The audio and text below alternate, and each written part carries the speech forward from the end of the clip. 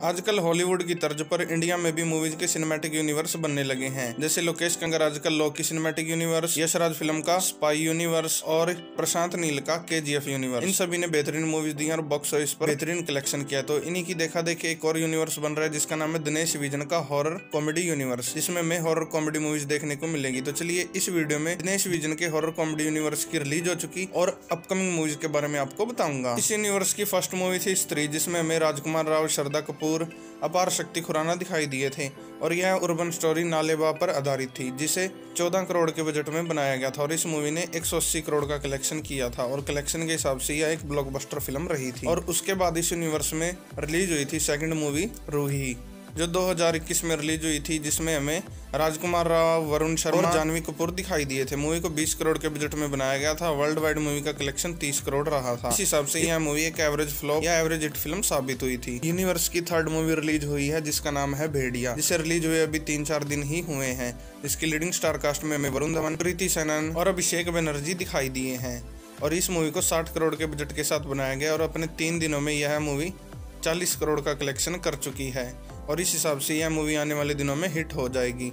अब बात करें दिनेश विजन के आने वाली मूवीज़ के बारे में।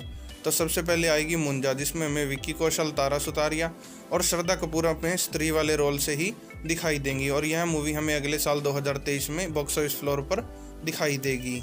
मुंजा के बाद इस हॉरर कॉमेडी यूनिवर्स की मूवी आएगी वेम्पायर पर आधारित, जिसमें हमें आयुष्मान खुराना लीड रोल में दिखाई देंगे और वह वेम्पायर का रोल प्ले करते हुए नज़र आएँगे। और शायद तक इस मूवी की स्टोरी को ईस्ट इंडिया में बसाया जा सकता है और मूवी काफ़ी ज़्यादा इंटरेस्टिंग होगी।